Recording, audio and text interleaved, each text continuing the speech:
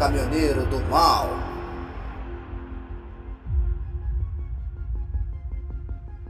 Era uma vez um homem chamado Carl. Ele era um caminhoneiro, era um dos melhores da cidade, mas tinha seus inimigos, como Chris, o chefe de uma gangue.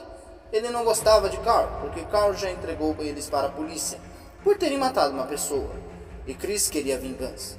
Uma noite, já se passa da meia-noite, Carl estava dirigindo seu caminhão em uma entrega, mas a gangue de Chris chega e metralha o caminhão, e Carl é fuzilado e morre.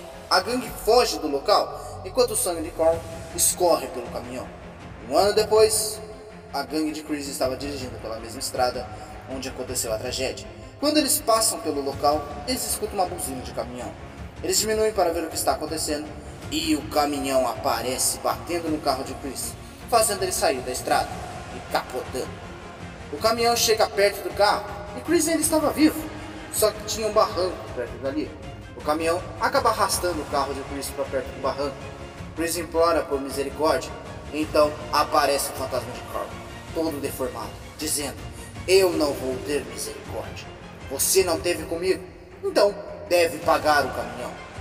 E empurra sem piedade o carro de Chris, fazendo ele pegar fogo enquanto capotava. E lá de cima o caminhão buzinava e acelerava.